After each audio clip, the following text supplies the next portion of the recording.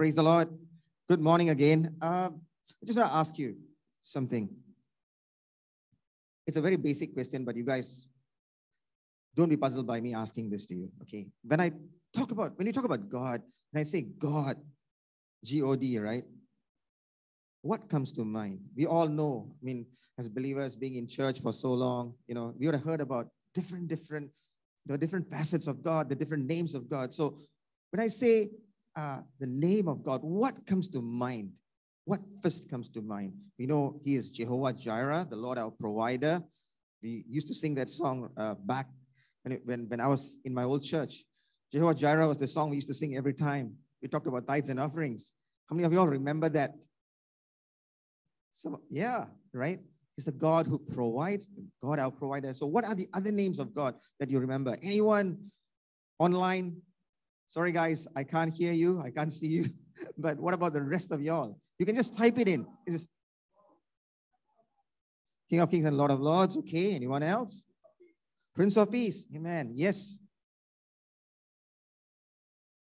Jehovah Rapha. Praise the Lord. The Lord our healer. Amen. There's Rose of Sharon. Praise God. Wow, that's so good. Anyone else? Jehovah Lion of Judah. Yes, he's the lion and the lamb. We know a lot about the names of God, right? And when you talk about the names of God, Jehovah Jireh, the Lord our provider, Jehovah Rapha, the Lord our healer, Jehovah Nissi, the Lord our banner, Jehovah Mekadesh, the Lord our sanctifier, and there are so many others. Jehovah, but there's another one, El, the Lord our righteousness, Jehovah Tsidkenu, the Lord our righteousness. Then there is the El Olam, the everlasting God. That's really cool because when I read it up, it says the God that cannot be rolled up like a carpet and packed away, the God who cannot be erased, the one who stays after everything is gone. That is the El Olam, the everlasting God, the eternal God. When we look at the names of God, it kind of tells us about the traits of God and the character of God, right? So today, what we are doing is just an extension of worship time, all right? So this is a little bit different. It's not your standard sermon of sorts, lah, right? So bear with me on this one. And I pray this morning, even as we look at the word of God, that the Spirit of God will speak to you. I've been going through uh, the names of God for some time. It's like an off and on thing, not, not because we forget God or anything like that, but you know, sometimes you spend certain periods in your life going through uh, the names of God and studying the names of God. It's just an exercise so that we can know Him better. Because when you understand God better, when you know about God, you will know Him as well. And when that comes together, I'm able to worship Him better. I'm able to serve Him better. I'm able to understand Him better. So that's basically the objective. And even this morning, as we look at God, we will not just be covering, not so much covering the names of God, but the traits of God. And as we do that, I pray that the Spirit of God gives us all a fresh vision of our God, the reason for our existence, right? The one who sustains us, the one who strengthens us, the one who brought us into existence first and foremost, and the one who leads us on into the awesome destiny that He has prepared for us. Amen. So that is the God we are looking at. That's the God we worship. Amen. Amen. Don't have to be so somber one. Pastor Fergus was telling us earlier, hey guys, you know, just be chill lah. Jangan, uh, okay, don't be so uptight. Don't be so, you know, this is not a funeral service. We're celebrating God, right? So let's let's celebrate the God we serve, amen. Right. Maybe we are, we are still kind of like breaking out of our lack of sleep. well, some of us too much of it. So let's just look to God in prayer this morning, right? Father, you are a good God. And we just thank you that you are our God. You are our creator. You are the one who is our life force. You are the one who gave us breath. You are the one who lends us that breath and strength. You are the one who sustains us. And this morning, even as we look at your word, from my mouth to the ears of my brothers and sisters, those that are here physically, as well as those who are connected with us online, and even, Lord, those who will be listening to the recorded sermon. Let that word be your word. You tweak it, Holy Spirit, so that it will meet every single person, including me, at the very point of our needs today, so that each one of us will catch a fresh glimpse of your glory. We bless you. We worship you in Jesus' name. Amen. Amen. Praise the Lord. All right. Okay, I've got to just adjust myself. This is quite new. Okay. Praise the Lord. Wow, Basanya. God, He is the beginning and the end. Let's read together, right? Let's read it with all our hearts. Those of you who are watching online, I know you're muted. Your screens are muted. Okay, just aligning myself. Okay, thank you. Uh, let's read it with all our hearts, right? Even here, let's declare the word of God into the atmosphere of our homes, into the atmosphere of our lives, into the atmosphere of this service this morning. Amen. Boleh? Can? Let's do it together. The first one. In the beginning, God created the heavens and the earth. In, in the beginning was the Word, and the Word was with God, and the Word was God. He was in the beginning with God. All things were made through him, and without him, nothing was made that was made. And finally, I am the Alpha and the Omega, the beginning and the end, the first and the last. Amen. Amen. You know, from Genesis to John to Revelation, you see that God is there throughout the Bible. God is the originator of all things. He is the source and sustainer of everything in existence. This is God. No one planned it for him, no one helped him. He did it all by himself. All right. In fact, there is an interesting verse in Hebrews 1, verse 3, uh, that says that God upholds all things together. I'm just paraphrasing it by the word of his power. Basically, everything that exists is held together by the word of God. So sometimes it always made me wonder when I, when I was much younger, when these fellows were trying to kill Jesus. See, the word of God, Jesus is the word of God, right? In the beginning was the word, and the word was with God, and the word was God. Who was the word? Who is the word of God? Jesus, right?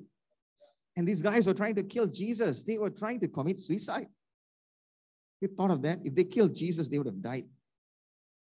Because Hebrews 1 3 says that things, everything in existence in the material world as well as the spiritual world is held together by the immutable word of God.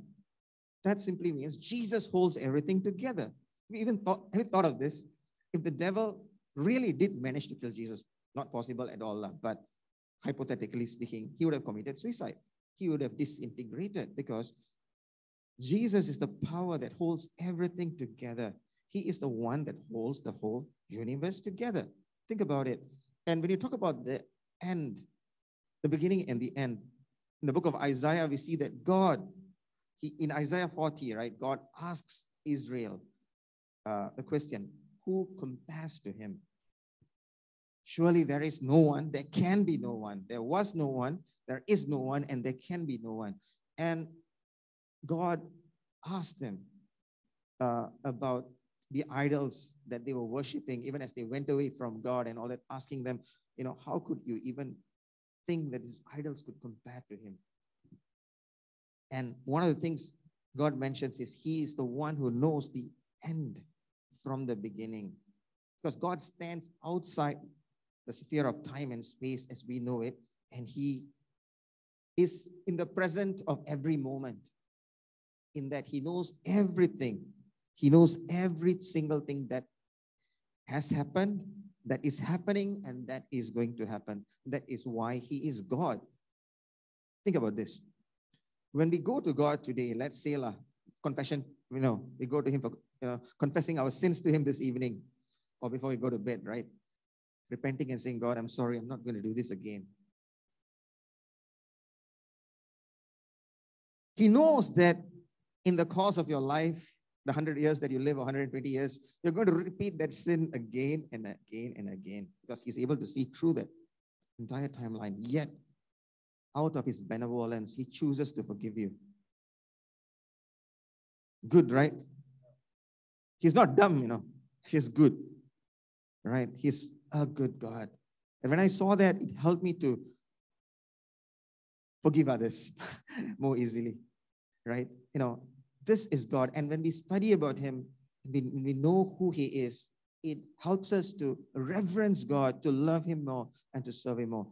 What we are doing now is just preparing our hearts and asking the Holy Spirit, yielding ourselves to the Holy Spirit to align us to make our lives. Our lives are already altars of praise and worship. To remove whatever ashes you have on the altar and put new firewood today. Right? So that's what we are doing this morning. All right? So the end from the beginning, the thing is this. There's a verse in Hebrews that says that Jesus is the author and perfecter, the developer, some versions say, and the finisher of our faith. When God talks about the end, the beginning and the end, the beginning would be the origin of that, that uh, life or that work or that mission or that initiative that God has begun, right?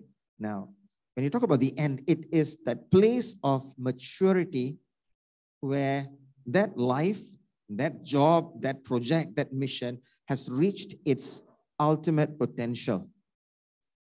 Since God designed us, He is the only one who is able to bring us to that place of perfection, that place of completion, that place where each one of us hits our ultimate potential. All right? So praise the Lord. He is the beginning and the end. Next slide, please. Thank you. God, creator and craftsman. Let's read it again. Let's read the two verses on top together, all right?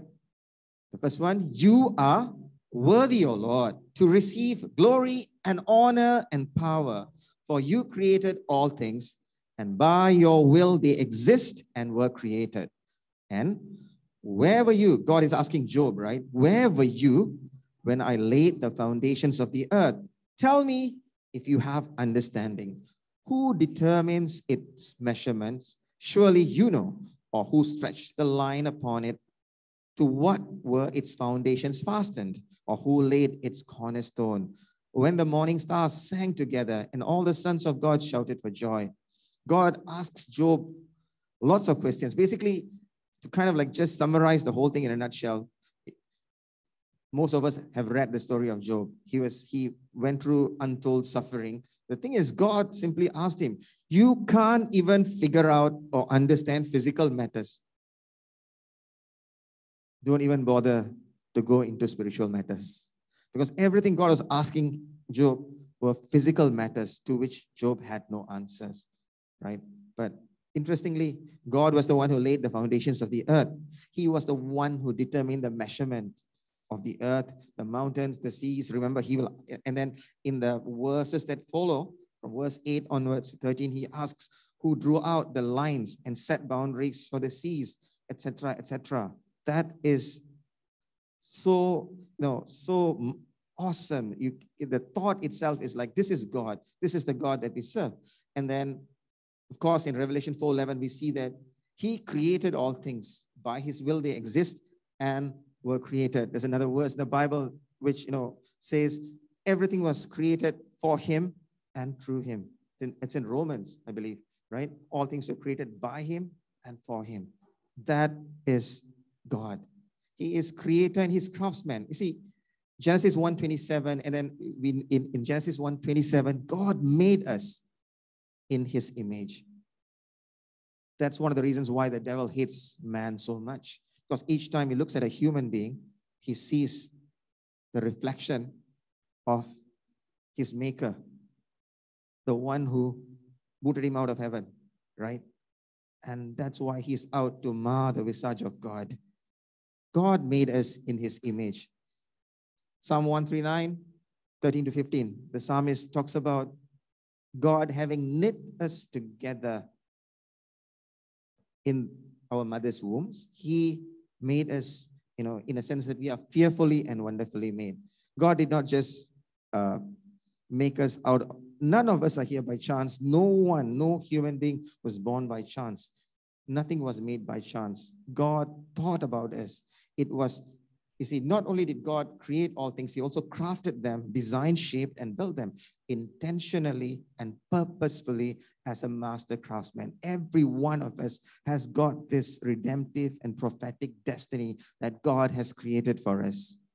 That itself is something for us to worship God. No one is an accident. Everyone has got a purpose. God did not design losers, God made winners. God created us to fulfill the good works that He has ordained for us even before the foundation of the world. And now that we are, we who are in Christ, are connected to the Lord, right? How much more we are able to hear the voice of God, to know God, and to move towards what He has purposed for us. Amen. And that simply means that wherever you are in life, Remember this that God is able to recalibrate you to his original design. He's able to realign you to his word, to bring you back to the point where you need to be, to put you back on course. This morning, I'm just here to remind you. I'm also reminding myself as much as I'm sharing this with you guys. I'm speaking to myself too, right? Praise the Lord. Let's move on.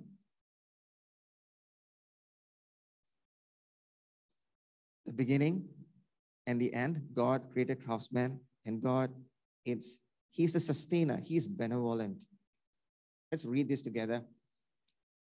I put it, yep.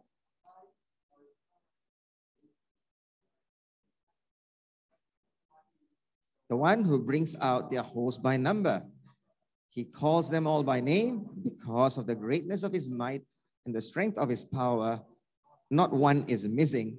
Isaiah 40, 26, and then verse 12. He who has measured the waters in the hollow of his hand and marked off the heavens with the span of the hand and calculated the dust of the earth with a measure and weighed the mountains in a balance and the hills in a pair of scales. Who has directed the Spirit of the Lord or has taught him as his counselor? With whom did he consult and who enlightened him? Who taught him the path of justice and taught him knowledge and informed him of the way of understanding. You know, as, as I shared when you were looking at the first slide, if God did not sustain the universe, it would collapse. Our very existence is totally contingent or dependent on His benevolence. You know something? Even as we are sitting here, not moving, right? I, I know you're moving, breathing, and all that. The thing is this do you know that the earth is traveling at, I think, 186,000 miles, right, per second, something like that. The Earth is traveling. It's like you, you are on spaceship Earth and it is traveling, all right? And it has not crashed onto any asteroid or onto another planet. It has not gone off axis. That itself gives us reason to thank God, right? Amen. But we don't even think about it. no, I didn't. I didn't until a few years back when I, when I, when I checked this out, and I thought, wow, God, you know, and then when you look at the air that we breathe, I mean, we can't see the air, but we breathe the air. What I'm saying is, you know, when you consider the air that we breathe, right? Every component in the air is perfect for you to breathe, to be alive, to grow. There's no wrong component mixture where you suddenly end up choking and dying. All these things, or God doesn't turn off the oxygen switch some over your life suddenly, or send you a bill at the end of the month for how much oxygen you have consumed, right? He is benevolent, He is good, He is kind. He makes it rain on the evil and the good. He sustains us. Not only did He make us, but He sustains us. This is the God that we serve. You know, this is very interesting. Isaiah 40, 26. I was listening to a couple of Christian apologists are scientists who are talking about, you know, we all have read in our, our, our science books and, and, you know, and books on astronomy about the stars just burning off and just going, becoming nothing, right? And when they consider some of the stars that we are seeing, some of them say that the stars, you know, for, for for the time, you know, for the stars to come to us, that, that light to come and travel through space, traveling a billion light years, billions of light years to where we are. Perhaps the stars that you see every night could have already burnt out, right? But there was this Christian scientist, I think it was John Lennox, who said that the word of God refutes it. Because he said, not one is missing. So interesting, right? Interesting. Because that that that he he he deemed that a theory. And he said, This is the word of God. So I'll just leave that to you to consider, all right? Because all the while when we were studying science in school, we figured, hey, some of the stars you see at night really don't exist. You know, in present time, what you're seeing actually is something that's shown billions of light years away, and that light is traveling to you. And that's what you're seeing. But Isaiah 40, 26 says, not one is missing. Go think about it. Food for thought, right? The next thing is this. See, he measures the waters in the hollow of his hand. I was reading one commentator, it was Tremper Longman, if I'm not mistaken. He says that God is able to hold all the water that exists in the palm of his hand. And then marked off the heavens with a span of the hand. Thumb to pinky, right?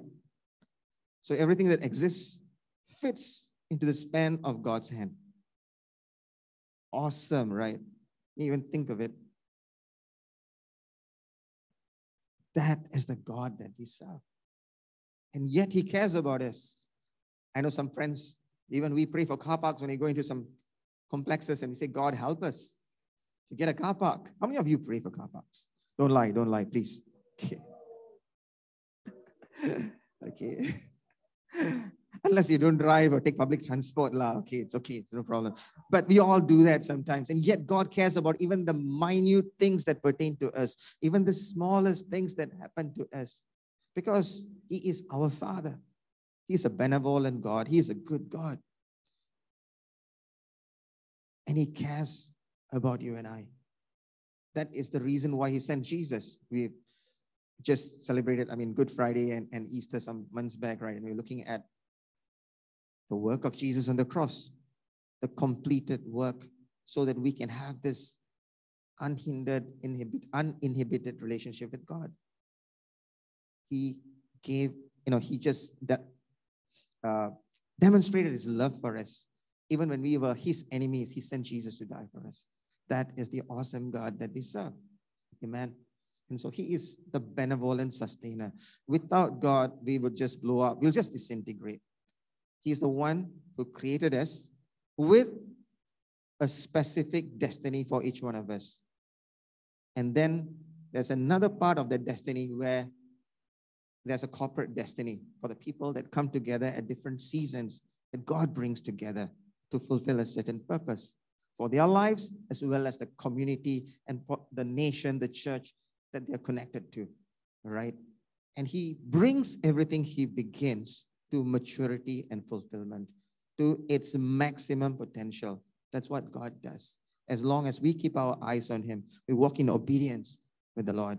That is the God we serve. Wow, this sounds like a prayer altar already. All right. Let's go to the next slide.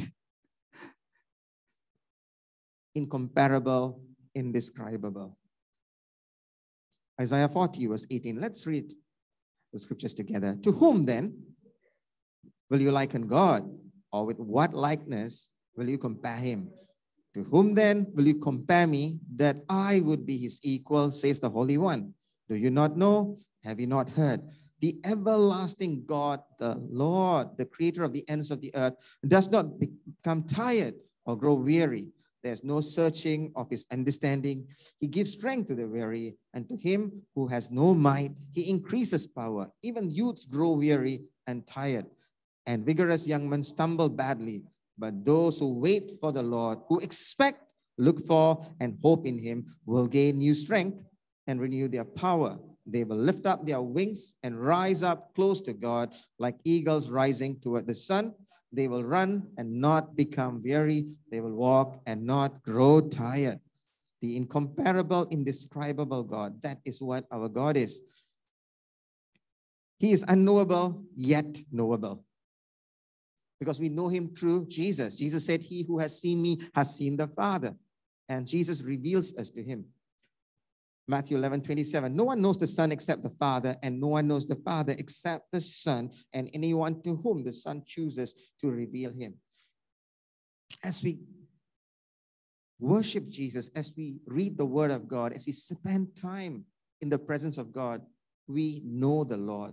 We come to know and see different facets of Him, right? And that is how we know the Father. Because when you know Jesus, you know the Father. We all know that Jesus is the exact representation of the Father.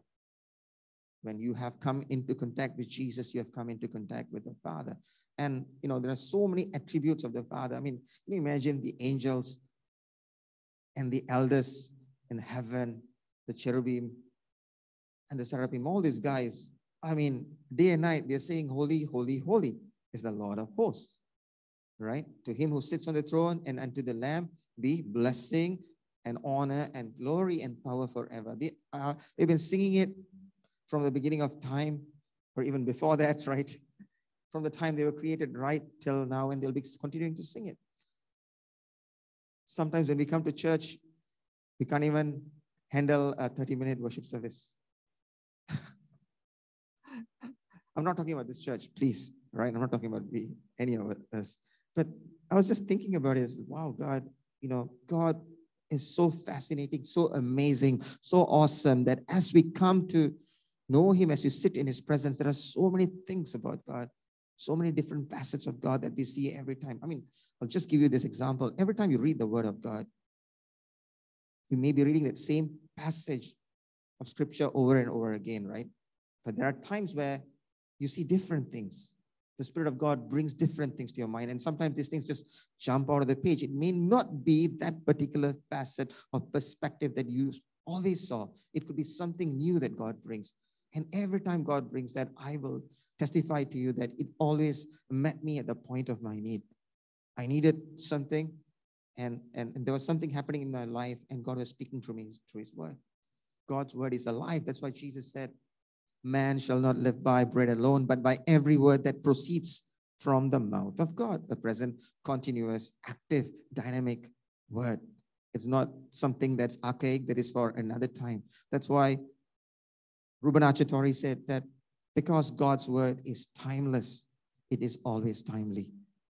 That is so true. Amen. That is so true. God is incomparable, indescribable. I think uh, Pastor Chu was preaching once and he said, Tiada tandingan, tiada bandingan. So that is so true. God is indeed tiada tandingan, tiada bandingan. He is indescribable. He is incomparable. My whole, uh, the title of what I'm preaching today, what I'm sharing today rather with you is incomparable. This is the God we serve. This is the God we love. This is the God who loves us so much more than anyone or anything else, and the God who wishes and who wills for us to reach our maximum potential. This is God. Amen. Let's look at some attributes of God. God is good. God is light. God is life. God is faithful. God is true. God is king. God is judge. God is holy. All in all, when I checked, there was in my uh, concordance, the Logos gave me 238 on the first level. If I continued, I would have found so much more. So I think this is, you know, God is, you know, if we put all our lifetimes together and we preached, right, or you put the lifetimes of everyone existed on earth, and we talked about the facets of God, we could still not finish it. We wouldn't even have touched maybe 1% of it. That's, that's, that's how awesome God is. Amen. That is how awesome God is. Let's just read this together. Psalm 34 8. Oh, taste and see what that Yahweh is good. Blessed is the man who takes refuge in him. For Yahweh is our judge, Yahweh is our lawgiver, Yahweh is our king. He will save us. In him was life, and that life was the light of men. That King Uzziah died, I saw in a vision the Lord sitting on a throne, high and exalted with the train of his royal robe filling the most holy part of the temple. Above him, seraphim, heavenly beings stood. Each one had six wings. With two wings he covered his face, with two wings he covered his feet, and with two wings he flew. And one called out to another, saying, Holy, holy, holy is the Lord of hosts. The whole earth is filled with his glory. Amen. See, the end, I mean, when you look at the names of God, the name with which God introduced himself to Moses is his most personal name, according to commentators. And that name is Yahweh. Yahweh, YHWH.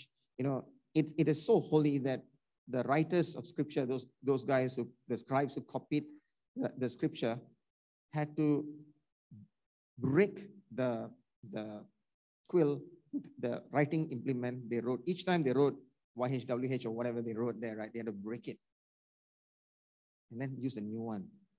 That much of reverence they had. They had to wash their hands before they started a new line.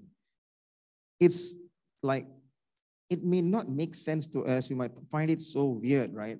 What wastage, but it was their way, their means to attribute reverence to God, to honor God. And it's it's it may be strange to us, but the gist of it is they really reverence God. God is that holy, that set apart, that high above, that He deserves that worship. He deserves that reverence, that adoration, that honor. Referred to in the OT, Yahweh, over 6,800 times, often rendered as Jehovah or Adonai. Uh, basically, uh, uh, it is a name that speaks of personality, the personality of God, the relationship that he has with the people of Israel to his sons and daughters today, the covenant that he has, and it is something that stretches for eternity. When God comes into a covenant with you, it is an eternal covenant. When God com- comes into a relationship with you, he does not call you his son and daughter today and tomorrow dump you. You are his son and daughter for all eternity. God does not abandon you. God does not forsake you. That's why Jesus said, I will never leave you nor forsake you. And when you read, you know, even in the Old Testament, when you read what God spoke to the children of Israel in the book of Deuteronomy and in Joshua, especially in the first chapter, said, Be strong and of good courage, right? For the Lord your God is with you wherever you go. He said, He will not leave. That ever abiding presence of God will not leave you. That is God who is faithful. That is the God who is constant, consistent, the God who is benevolent. He is good. We all know that He is good. How many of you have not tasted the goodness of God? Never tasted God's goodness here. Okay, praise the Lord.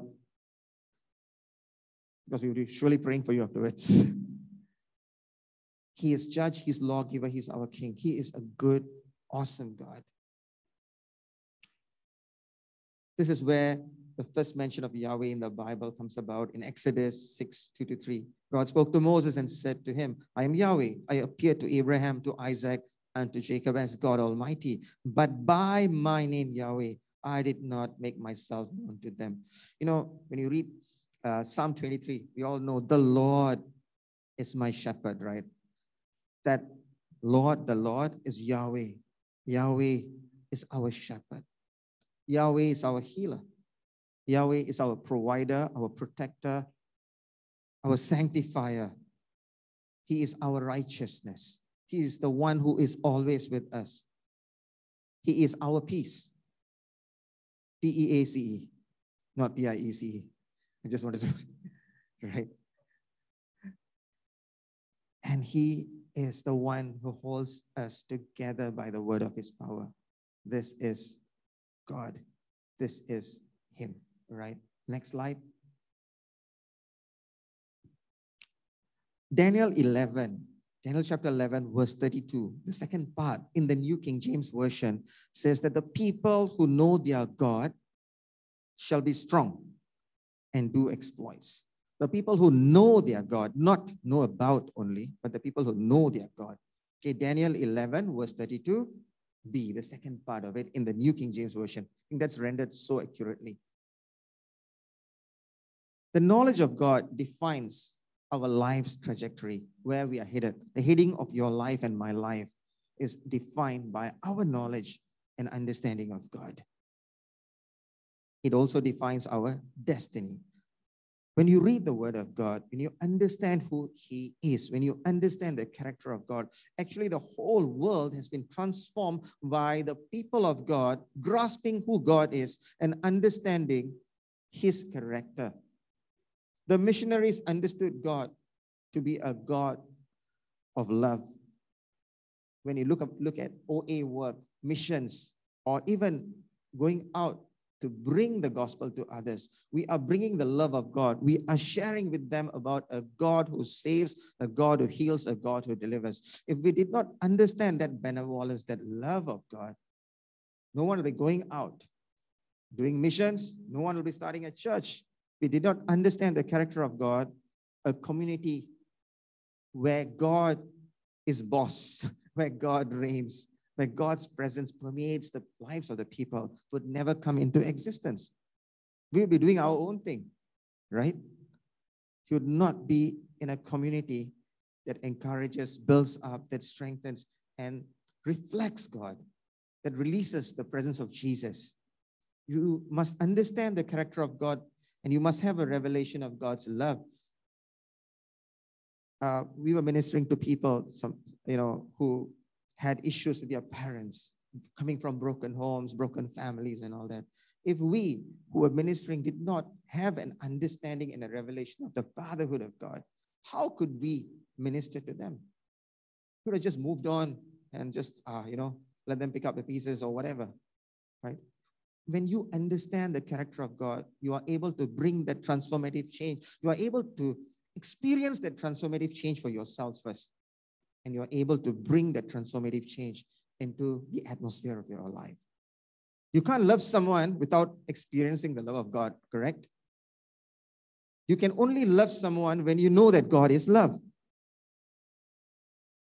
You cannot forgive someone before you receive the forgiveness of God. If you've understood the forgiveness of God, right? And Jesus' standards are pretty high, right? Love your enemies. Bless those who curse you. Pray for those who persecute you. Not pray for them to die or anything like that. Pray that God would bless them, right? Because praying for them is easy. You could pray that God will kill them or something like that. But He's asking you to pray for them, to bless them, to prosper. Yes, Pastor Felix, to pray for them to prosper. That's tough, right? If you do not have the love of God in you, if you do not experience that life of God, that forgiveness of God revelation of God's justice. I've read about so many Christian organizations that go out and minister to uh, people who have been sold into, you know, child slavery, you know, child prostitutes, and and and lots of things. Uh, people have been just kidnapped and and and sold off into real hellish lives on earth, right? And these guys, when they came together, different people from different nations, different uh, professions, after reading the word of God, believers who saw the justice of God, they came together and formed, uh, you know, communities and, and, and organizations that buy these fellows out of slavery, that reach out to rescue them. When you talk about mission schools, I'm from, uh, I'm a product of a mission school also myself. How many of you all went to mission school? Methodist Boys School, MBS, myself you know, a lot of us, right? It's because those guys saw that need, they saw the love of God, and they brought that, they saw the character of God with regards to bringing up communities and people. And that's how they came into minister, right? So the revelation of God's character in the lives of people is responsible for upgrading the lives of the whole world practically. Wherever you see some good happening, it is because someone or, uh, or, or, or, you know, an, an individual or a community has grasped that revelation of God's character. And you are seeing that revelation of God's character manifested in that place. We are here in Sungai Buloh. Let us get deeper into God so that we are able to release that character of God. A lot of times we talk about theology being very theoretical. Actually, theology is not theoretical. Theology is the knowledge of God, understanding God, right? And theology is to be lived out, not to be just read and allowing your head to become so big that it explodes. No, it does not. It is what we live out, what we bring in, and what we live out. Amen. Only three fellows agree Pastor Fergus and the fellows at the back. Amen. Okay, you're awake. Praise God. Right. The final slide. Okay. There's a book I read some years ago that said everybody is a theologian. Remember that book? Everybody is a theologian. The truth is, everyone is called to be a theologian because theologians are worshippers. Theologians are people who know God, who understand God, who continue to grow in the knowledge of God. And the ultimate result of the knowledge of God is worshiping God, coming into that place of praise, coming into that place of prayer, coming into that place of worship. This morning, we sang and worship God. Every one of the songs talked about the greatness of God, who He is, what He has done in our lives, what He is doing in our lives. In a sense, knowing the character of God enhances our lives. You know, the, the, the most uh, revealing area should be that area of worship. It equips us to worship Him. It equips us to worship Him more so that our lives itself will become living, breathing altars of worship to the Lord. Because when you worship God, God is in, and praise the Lord, right? God is enthroned on your praises and your worship. And his presence comes and dwells in your life. So wherever you are traveling, wherever you are going, you are carrying his presence and you're releasing Jesus into the atmosphere of that place. In a sense, our theology must consistently and joyfully lead us to God, not away from God to worship and adore him. But that is our highest honor and privilege, worshiping God. And this morning, you know, we saw that God is the beginning. God, God has initiated things. He's brought us into existence and he's leading us to the destiny that he wants us to fulfill. He's leading us to that destination for each one of us in, as individuals, as families, as a church, as a community, amen, and even as a nation and nations, right? We know that He is the one who initiated it. No one shared in the planning. He's the one who planned it. He brought us forth intentionally, consciously, all right? And He's strengthening us, sustaining us. He's providing the means for us to reach that place. Amen. It's all about God. It's all through Him. Even as the, the, the Word of God says, it is all in Him, it is all for Him, it is from Him and to Him. Amen. And it's through Him. Ultimately, when we see the different facets of God, the different attributes of God, it causes us to live out the life He has ordained for us, to be reflectors of His presence. And knowing the character of God enhances our lives to come into that place of worship. I just want us to just get to our feet after this to worship the Lord with me, all right? I finished at 11, I think. Okay, so I'm just going to spend a bit of time. We are going to spend a bit of time worshiping the Lord, all right? No rush, no hurry. Worship the Lord, all right? And I want you to just think about what we uh, heard this morning, even if it is the smallest thing. All right. If you grasp the whole thing, praise God. But if it's one facet of God, I want you to worship God. I just want you to imagine that it is just you and God in this place. I want you to connect with the Lord. Even those of us who are online, wherever you are seated, standing, whatever, I want you to connect with the Lord. As we sing this song, How Great is Our God. Let Him be sovereign, supreme, and the most, you know, the preeminent one in your life, in your family, in our church. All right. And I promise you this we will see change this day forward in our lives that we never saw before.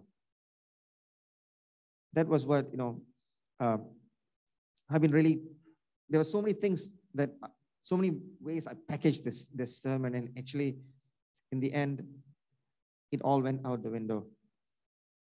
And I think God just wanted me to just share with you guys about who He is.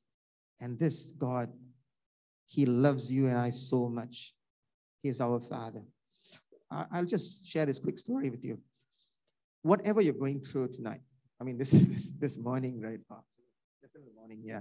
Whatever you're going through, I just want you to remember this. Keep your eyes on the Lord. Many years ago, I've shared this story before. I just want to share this to you again. I went fishing with my dad. It was about nine, nine, years, nine or 10 years old. Nine years old, actually. Went fishing with my dad. My dad used to, you know, take me fishing in these fishing boats, these large fishing boats. We used to go to Pulau Tioman, Pulau Rawa, Pulau Pemanggil, and do fishing. So on one of those trips, I was sitting in this boat. My dad was there, two, his two friends and the boatman, and we were just, you know, the boat just drifted off, and everyone was busy catching, uh, you know, throwing in their their their rods and catching. They were catching this uh, ikan tenggiri, Spanish mackerel, and and and and there was this large school of them in that particular location, and this reeling these fellas up. And it was bright and sunny, but just in a matter of moments, it just became super dark. And I could see the waves. It just became black. That sea that's so green, right? Aquamarine color, right? It just became dark black, dark blue, blackish kind of a thing. And I could see the waves. They were bigger. I mean, they were higher than the ship. I mean, the boat we were on, you know, it's not a ship, it's a boat. It's quite a long boat, though. The, uh, and, and it's so much higher. And I was like, I, I was just holding on to the side of the boat. I was just looking at it for a while. And I was thinking, wow, you know, this thing could just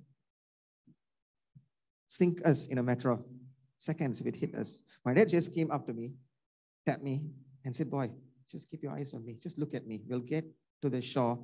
But you don't look at the shore or to that, uh, the waves there. Keep your eyes on me. A matter of moments, we were back on the shore. And I remember this. Uh, I was praying for someone many years down the road. My dad went to be with the Lord. I mean, he's gone to be with the Lord, I think. Uh, he went to be the Lord in the, in the year 2000. And this is like 20, 22 years, right? But I was praying for someone many years after that. And, and he was going through all these things. And this, but God just reminded me tell him to keep his eyes on me. And I'm here to remind you whatever you are going through today, keep your eyes on the Father. And you, you will reach the destination that He has planned for you. Don't keep your eyes on whatever you think is safe. Don't keep your eyes on your trouble. Keep your eyes on the Father. Amen. Praise the Lord. I just want you to lift your hands to the Lord. Even as we are standing in the presence of the Lord, Jesus is here in our midst.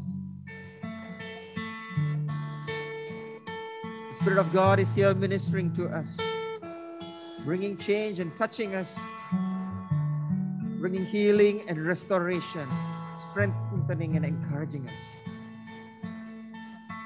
Father, we just thank you that you are a good God. We thank you that you are a benevolent God.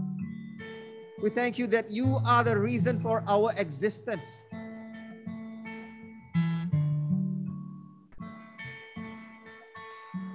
We thank you for your goodness in our life so far, God.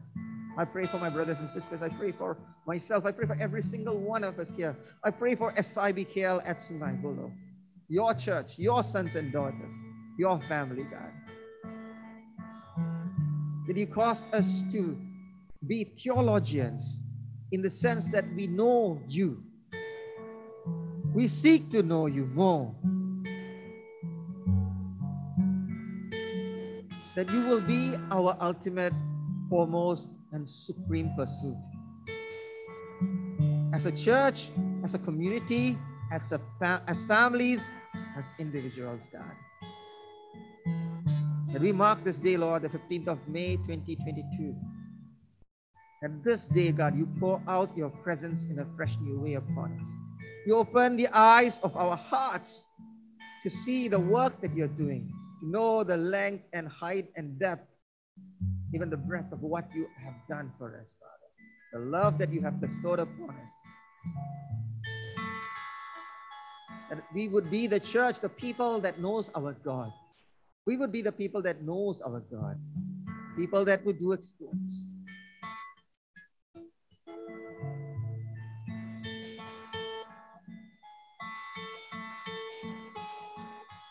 We bless you. We worship you. Father, in this place this morning, magnify your name. Magnify Jesus. Magnify Jesus. Now, church, I'm just going to conclude with the benediction. But before I do that, I just want you to catch what God is doing here in our midst. Even as you take it throughout the week and throughout the rest of your lives, let that magnitude of the presence of God keep increasing. That magnitude of the presence of the Father increase in your life. So that we would be His ambassadors on earth. Wherever we go, wherever He sends us, remember that it is not by chance, it is only by His divine design and purpose.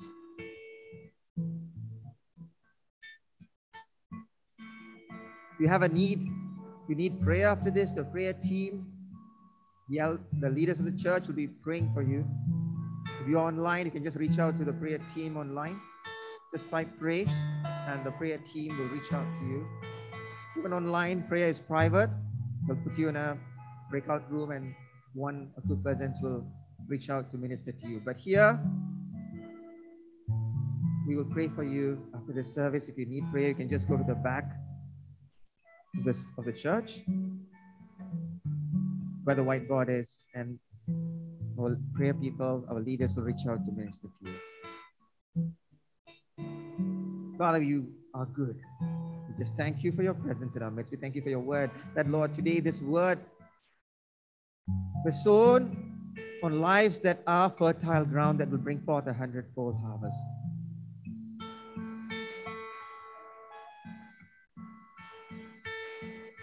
And Lord, our theology, our knowledge of you will help us to understand your character and to reflect that character in our lives, to release your presence, to release Jesus everywhere we go. We thank you, God. The grace of our Lord Jesus Christ, the love of God, our Heavenly Father, and the sweet fellowship of the Holy Spirit be with you all, now and always.